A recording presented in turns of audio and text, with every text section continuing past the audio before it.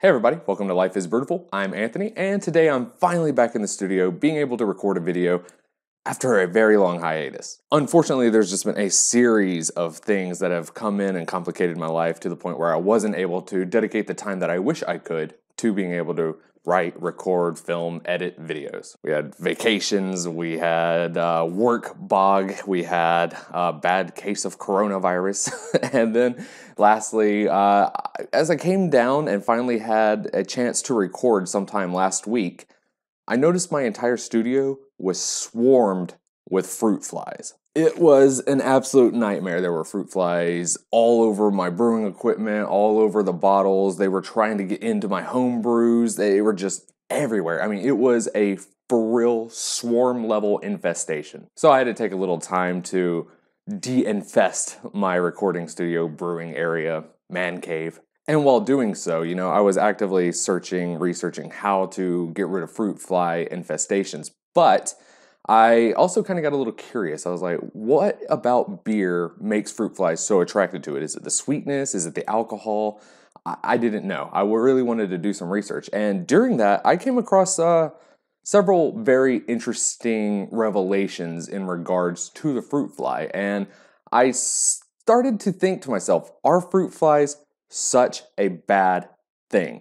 And it was a little bit of an interesting question that I had rolling around in my noggin. So I figured I would put it down on paper and I would uh, go through my process with you and have you help me decide are fruit flies a brewer's curse or a blessing? Let's get into it. So, if you've been a home brewer for any amount of time, you know the complications and the risks of a fruit fly infestation. You also know just how frustrating they can be. They're always swarming around your beers, which is why I have to have this little coaster on top of my glass to prevent them from getting in. I think it's mostly quelled here, but uh, I ain't taking any risks. They're those little fruity bastards. But they're always trying to get up in your homebrewing equipment and they carry bacteria and wild yeast on them, and that could easily, easily make a beer disgusting, but also if you're spending all the time, money, and effort to brew a beer, it could completely infect it and make it completely undrinkable. And the reason they're such a nuisance is, like I mentioned earlier, they do carry microbes on their bodies. It's kind of what they were designed to do. And some of them can be harmful. They can carry listeria, they can carry salmonella, they can carry E. coli. They just carry such nastiness, you know, and that's kind of expected of flies. But the interesting thing about fruit flies is they can also carry uh, different microbes on their bodies that are able to ferment wort or beer or anything like that. They can carry wild yeast microbes, they can carry mold, and they can carry bacteria like Lactobacillus pediococcus. And when they introduce that stuff to your beer, who knows how much damage it could wreak on it, you know, completely undrinkable and certainly unappetizing. And not to mention, there's a whole nother disgusting factor that fruit flies introduce to your fermented products. Not only do they try to get in there and lay their little eggs around this surface of fermenting food or liquor or whatever, but they're also just basically having a giant orgy in there, laying their babies, and it, it's just, it's disgusting. What is it about fermenting products like beer or kimchi or whatever? What is it that attracts fruit flies to them? Well, as I mentioned, it is basically a giant orgy arena for them, and I mean, who wouldn't want to go to that? But there's also a biological understanding that fermented products can also be a source for safety for fruit flies. When they go to a fermented product, scientists have been able to determine that they actively look for the right balance between fermentation and alcohol production.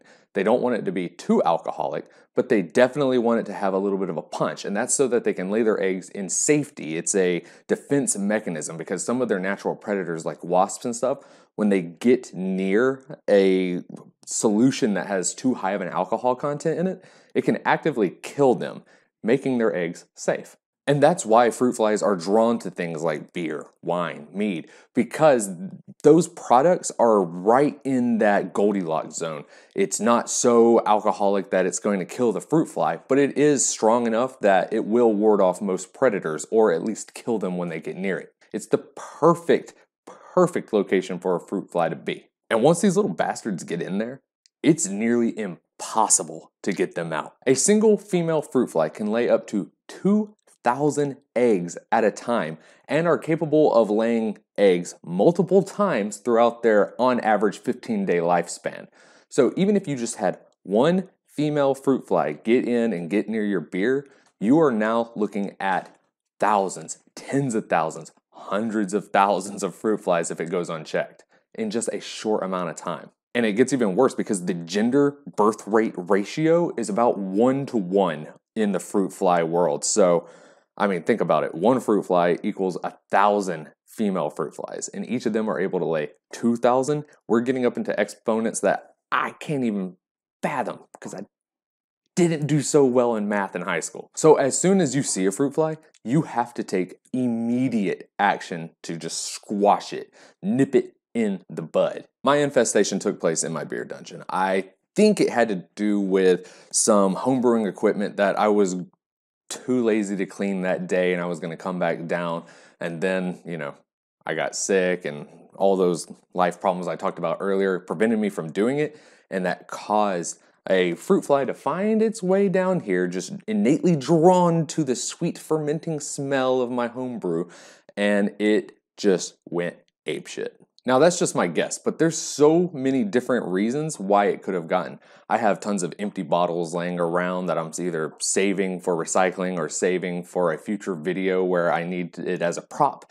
And fruit flies can get down inside them, start mucking around in the little bit of liquid residue that's left at the bottom of the bottle and start the breeding process. There's also my kegerator. Flies can actually get up inside the tap handles and start thriving in there disgusting. Important to clean your tap handles. Also, if you ever go to a bar and it's got a whole bunch of fruit flies or something like that going on, it's pretty safe to assume that either their drip trays or their tap handles are infested as well, and uh, you should get the fuck out of there. In order to get rid of this infestation, I had to take a multi pronged attack.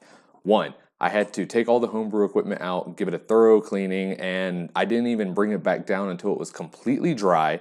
And that way, there was not even like a chance that any residual sugar or anything left on it could possibly mix with the water from the washing and create a new cesspool. Two, I took some tinfoil, I wrapped up all of my tap handles that way nothing could get inside of them. I made sure that my drip tray was removed and cleaned, and I still haven't even brought that back downstairs because I don't want to risk anything. I mopped the floors where any potential beer spills or anything like that has happened. It could be cleaned up, nothing there. But that doesn't really solve your problem. That kind of helps prevent the continuation of the problem, but you still have the thousands that are swarming around, buzzing around your head the whole time. You have to get rid of those too, because all it means is if they're able to find anything, they're still going to continue, right? So, what you have to do is kind of set up traps and devices that'll help kill them.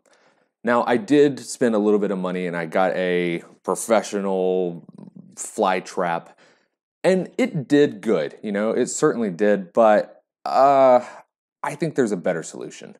We're instead going to use all those empties that I took out of the dungeon, and we're going to turn those beer bottles into beer fruit fly traps. I'm using the beer to destroy the beer bugs. So the only thing you need to turn a normal beer bottle into a fruit fly genocide death trap, it's a good name for a band. Take the beer bottle, fill it up with a little bit of water, add vinegar. Lots of vinegar. It doesn't matter what kind. I worked with rice wine vinegar, I worked with red wine vinegar, I worked with balsamic dressing, I worked with apple cider vinegar. All of those will do great. Fruit flies are just looking for that vinegary, tangy, funky scent of fermentation, and nothing screams it better than vinegar. So, what you're actually gonna do is take a little bit of Dawn dish soap add it into the bottle, give it a little bit of shake. And what that actually does is it creates a difference in the surface tension. So when the fruit flies come in attracted by that vinegary smell, they try to go in and get near it. And the bubbles and the soapy, scummy surface of the soapy vinegar water traps them and they can't get out And even if they could, their wings are so covered in oil or oil, you know, the soap, that they're unable to fly away. So even if they do manage to escape, they just kind of fall over dead. But most of the time, they're just going to sit here and sink to the bottom. It's fucking disgusting. Now, this might seem like an extremely simple solution, but it's extremely effective. I was almost able to collect about a hundred fruit flies per bottle per day. That's a lot. I mean, I was, it was the killing fields in here. We were just combing massive chunks of their population on a daily basis. I felt like I was like Thanos just snapping out half the population on just every time I brought new bottles down. So I guarantee you, I give you the 100% seal of approval. This is effective. Now, you also kind of have to use some advanced military tactics. You got to know your enemy. You got to understand how they work, what makes them tick, and everything. And that certainly worked for this. But fruit flies are actually the opposite of nocturnal. I think it's called diurnal. Diurnal, which means they're more active during the day than they are at night. Now, when they're trapped inside uh, a small room or everything, the lights of the room actually give off the interpretation of it still being daytime. Not only does this tire the fruit fly out, stresses them out, wears them out that they can't go into their more restive state, but it keeps them active, flying around, searching for food, searching for places to mate, searching for places to breed and lay eggs and everything like that, which keeps them searching for your traps. It's genius.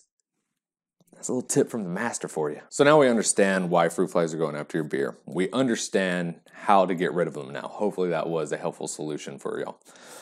But as I was dumping out all their drowned bodies into my sink, I couldn't help but feel a little bit weird. I started doing more research into the fruit flies throughout my killing process, and I found several very interesting facts that kind of made me feel connected to them in a weird way. It turns out that uh, fruit flies are surprisingly human like. In fact, some researchers have indicated that they could have up to 60% of the same genomes as us. So, out of all the animals on this entire planet, they're some of the closest to us in our genetic material. And not only that, but they kind of act like us too. I mean, think about it like this.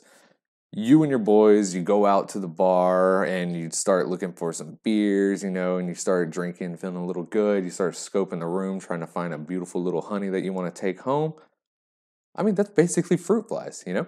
And they fly around and they look for some nice drink. And it's proven that fruit flies will actively seek out alcohol for enjoyment purposes as well, apart from the whole mating and life continuation thing. They just like to party a little bit, you know? Short lifespan, live hard. You know, during that process, sometimes they'll find mates and they'll, you know, move on with their lives. That sounds so human like.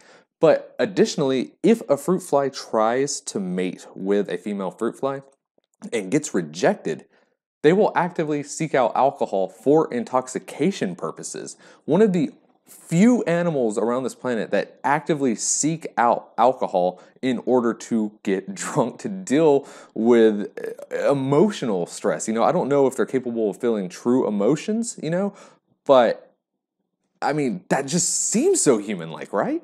They can also develop drinking problems. Like I said, they get that huge dopamine burst and they get that rejection feeling. And there's been evidence of fruit flies who, after a series of rejections, will no longer try to mate and will instead just drink themselves to death instead of trying to get back out there. I don't I don't know how to say it without sounding weird, but I, I feel like my spirit animal is a fruit fly. You know, I, I that just it seems so human. You could take that little tiny insect scale it up to size and put it in a human costume, and I feel like it would kind of fit in with society. Now, why do I think they could potentially be a blessing for homebrewers? I kind of mentioned that at the beginning. I think we understand why they're a curse, but how could they possibly benefit us, right? Well, researchers in Belgium actually discovered that fruit flies will actively seek out better smelling yeast strains. They will actively search out ones that have fruitier scents, that have more lively and more pungent characteristics. over ones that are a bit more muted and more neutral. And that's very similar to what we as brewers do as well. These Belgian scientists hypothesized that over thousands and thousands and thousands of years, fruit flies are actually what have given us the modern day yeast strains that we use to brew some of our favorite beers. They believe that at some point in time, they were just different pockets in strange little areas, and these fruit flies would actively seek those particular yeast strains and fermenting puddles out and carry them around and continue to spread them until they were popular enough and wild, growing, and easy to be found enough that when mankind started to brew beer, we were able to inoculate our early beers with these more specialized yeast strains, right? Making better, more enjoyable beer. I mean, if we think about what the first beer situation probably was like where a random gatherer happened to get some wet grains and it got started fermenting, right? If it smelled and tasted like shit, it probably wouldn't have taken that first sip, but it's possible that fruit flies because of their propagation and spread of these specialized unique better character and better quality yeast strains, it's lucky that that porridge beer possibly came out smelling good and enticing enough for early man to try it. We might owe that to fruit flies. But not only that, but it's a little bit symbiotic. Scientists also hypothesize that yeast strains have evolved in order to attract fruit flies. They have actively gone through the series of evolution to want to be spread by fruit flies, continuing on their own species as well. So it's a symbiotic relationship that over time we were introduced to, and we're all just working in harmony. it's kind of beautiful when you think about it. And you know, that sounds so crazy. It sounds so far fetched. It sounds so mind bogglingly strange. But I would say that it 100% does feel like that could be in the realm of possibility. You know, stranger things have happened. There are even brewers I read about who were discussing on whether or not they should make two different like starters and let fruit flies choose which one is better. Which I think is actually a brilliant idea that I might have to investigate in the future. But the idea is that if a fruit fly chooses one over the other, so too will the human because we're just so alike. But through this research, I definitely discovered a lot about them and a little bit about myself. You know, I I just learned I have something so in common with something so small and disgusting and you know, I can kind of relate. so, I hope you learned a little something about the fruit fly. I if anything, I really do hope I helped uh, some people figure out how to get rid of their fruit fly problems because over the years I've had a series of infestations due to my home brewing and it just gets to be nightmarish proportions. This is certainly the worst one I've ever had. Most I've been able to clean up with just like a fly strip or whatever, but this one was bad. So hopefully this helps somebody out there, and I hope you learned a little bit something about possible beer history and uh, you know just kind of change your perspective look at things in a slightly different way even if they are just a t- disgusting little nasty bug anyways thank you very much for watching everybody i really hope you enjoyed like comment subscribe and uh cheers. Hopefully, I'll be posting more videos more regularly, more often. Thanks.